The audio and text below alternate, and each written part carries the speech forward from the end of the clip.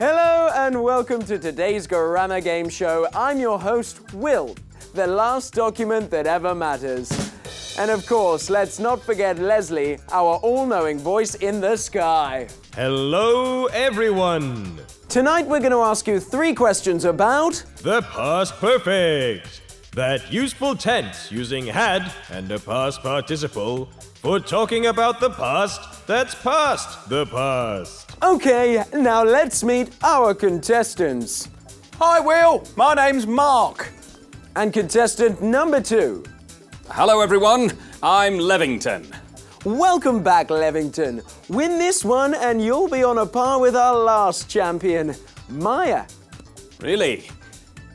Where is she now? Oh, don't worry about her. She's squiddled away somewhere. Okay, let's get going and don't forget, you can play along at home too. Our first round is a find the mistake round. Can you correct the mistake in each of these sentences? I didn't eat by the time I had left home. I hadn't eaten by the time I left home. Correct. When I had arrived home, my sister already made lunch. When I arrived home, my sister had already made lunch. Correct. I had woken up late because I forgot to set my alarm clock. I woke up late because I'd forgotten to set my alarm clock. Correct. Leslie? Good job, everyone. The past perfect describes actions that happened before the point in the past that we are currently speaking about. Once a time in the past has been set, it allows us to go back for a moment to a point before that. Events in the past perfect always take place before the past simple or past continuous. Well done, have 23 points between you to be divided according to the day of the week and the strength of your personality. Let's have a bonus question. Look at this sentence and tell me how the verb phrase had had should be pronounced. I had had a shower. Do it again. I had had a shower. Oh, sorry, I, I didn't quite catch that. Try closing one eye and pulling your lips back. Had had? One more time. M- Maybe hold your arms above your head.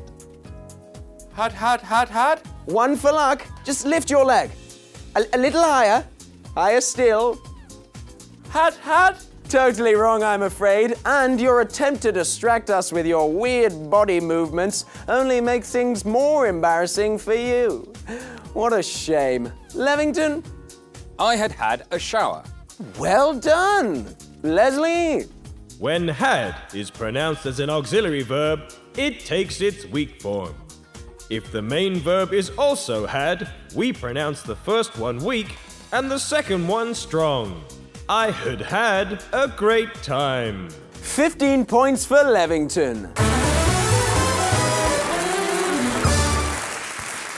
On to question two. The past perfect is formed with had and a past participle verb. But in which other grammatical structure is the past perfect's form required? It's got to be the past perfect continuous. Had plus been plus verb ing. A swing and a miss there, Levington. Mark, would you like to give it a try? No idea. Are you sure? If Levington had known the answer, he would have got the points. Oh, third conditional. It's a third conditional. Leslie, Well done. The third conditional is used to talk about the possible consequences of past events that didn't happen. Its formula uses the past perfect in the conditional clause. If plus had plus the past participle, would plus have plus the past participle. well done. If Levington had given me the answer, I would have given him 20 points. But for you, three. On to our last question. The past perfect can also be used to talk about unrealized hopes. In this case, its pronunciation changes significantly. How?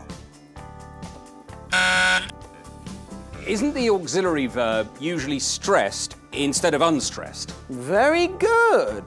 Can you give me an example? I had intended to just do my best, but now I want to beat Maya's record. Good for you! Maya was a lot more intelligent than you are, but people love an underdog. Leslie, Well done!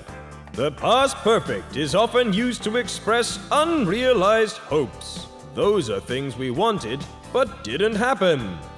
Verbs like wish, hope, intend, and want are common in this structure. We also usually stress the auxiliary verb. well done, Levington. Six points for you. I had hoped that I would be able to sleep the whole night through by now, but the dreams. Papa! Papa! Don't leave, Papa! Well, that brings us to the end of today's grammar game show. Let's count out the points. And the winner is. Mark with 50 12 points. Well done. Here's what you've won. It's an expired light bulb! Very illuminating! We'll see you again next week where you can play for another prize. And Levington, so close but so far. Even though you didn't win, did you do well? Well, I had hoped. Well, um, Here come the crocodiles. It looks like we'll need another contestant. Thanks for joining us. Say goodbye, Leslie. Auf Wiedersehen, Leslie! Oh, see you next time.